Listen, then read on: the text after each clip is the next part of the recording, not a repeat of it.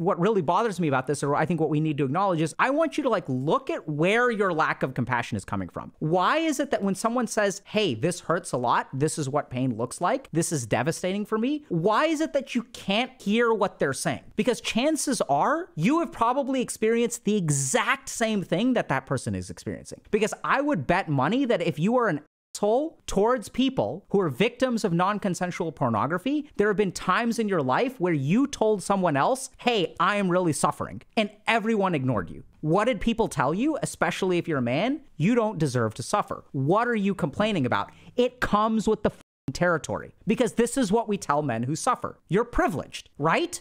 And so, what happens to us? We hear this stuff, we reach out for help, we say, Hey, I'm hurting. And the world turns to us and says, Screw you. You should be able to handle it. Comes with the territory. The world has treated us like shit, so we're going to turn around and treat other people like shit.